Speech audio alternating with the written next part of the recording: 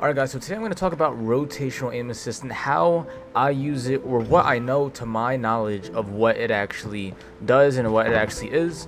And you got to understand there's a difference between aim assist when you're just looking left or right and the rotational aim assist to like where there's other people moving and your character is rotating where you're using your left stick, not your right stick, but your left tick stick to rotate your body and get that aim assist onto other people because there is a difference. There's two types of aim assist, the regular one and then the rotational one. And the rotational one on top of the other one really helps you get more aim assist so that you can be able to hit shots easier and just able to control your gun a lot more. That's also why a lot of pro players, right? You go to some pro players videos when they're explaining how they get more kills, they say, oh, uh, while, while they're aiming at somebody, they move left and right because it gives you more aim assist. And I'm kind of going to talk about that today and how that works. So I will say too, like when I am moving left and right, that is also to strafe my body because you don't want to stand exactly in place and shoot or else you're going to get killed.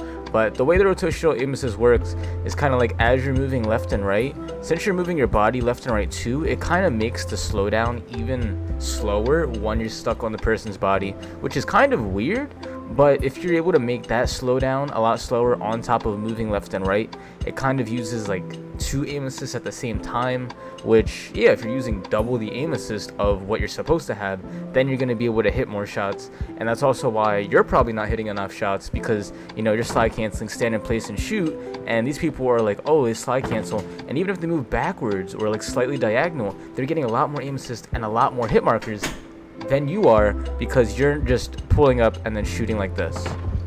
Okay, so when you go over like corners and stuff like that, if um if an enemy's right there and I want to like pop up right here, I'm gonna pop up and I'm gonna go diagonal. I'm gonna go like back or diagonal this way, and I'm not just gonna pull up and just shoot like that.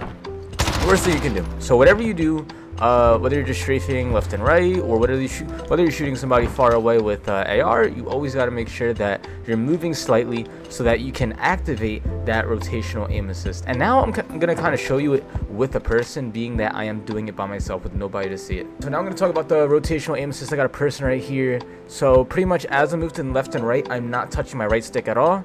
And you can see the aim assist is still stuck on the person. If I'm going right here, I'm getting no aim assist at all.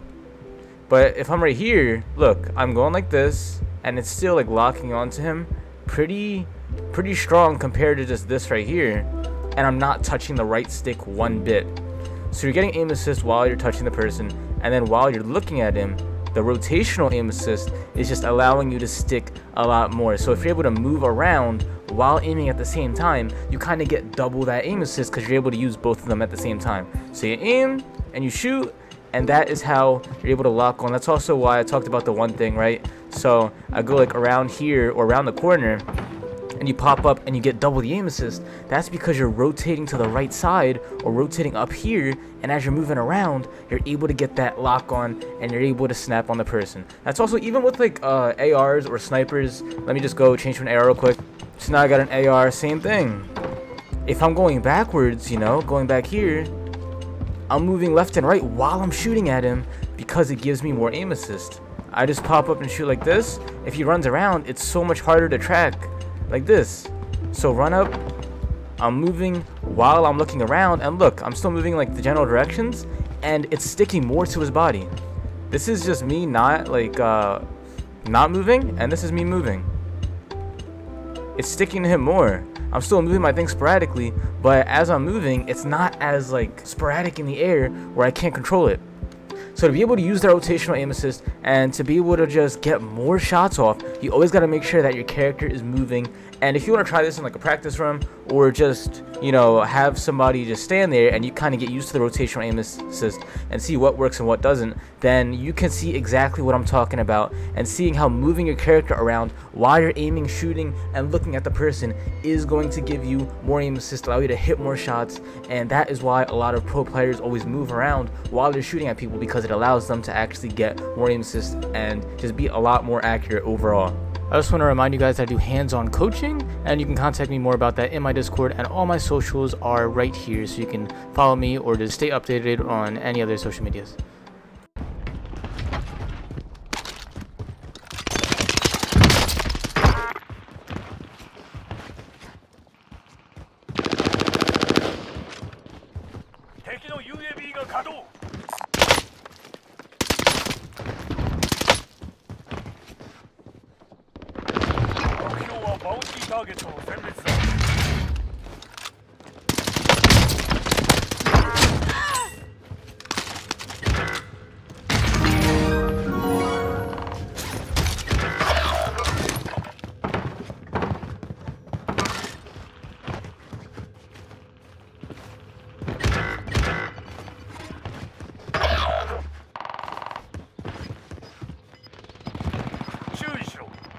エアストライク中継に補給に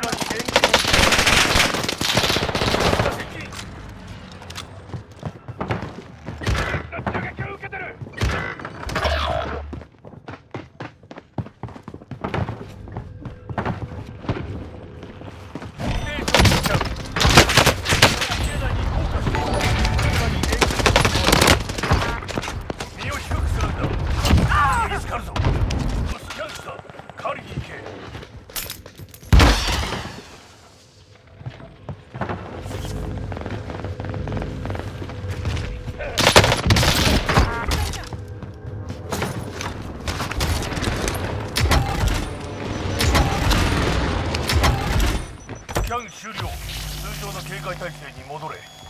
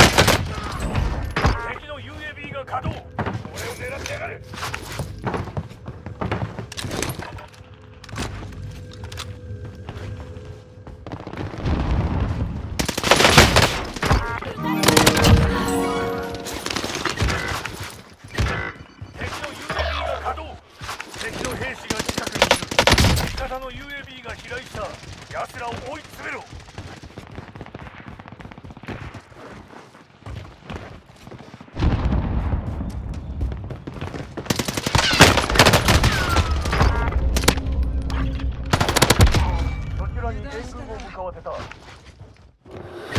出血じゃない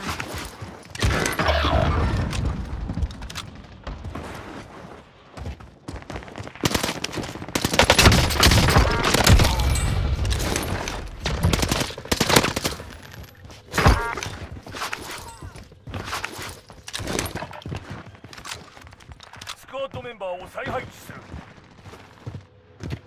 敵の兵士が近くにいる。Ha ha!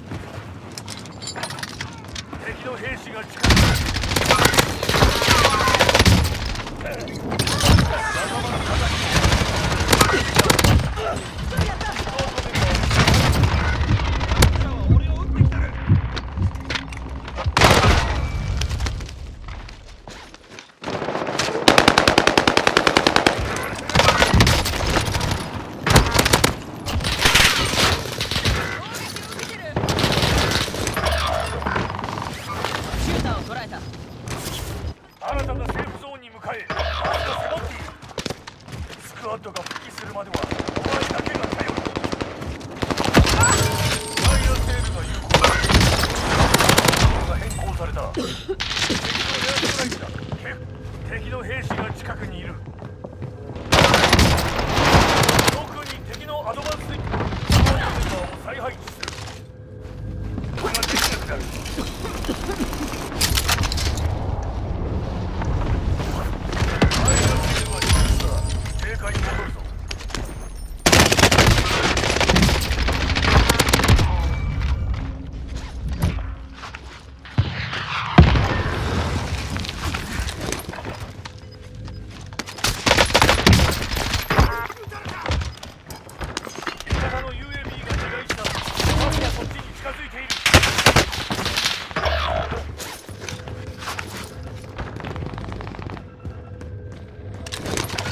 ンティーターゲットをマークした。どう私やれ。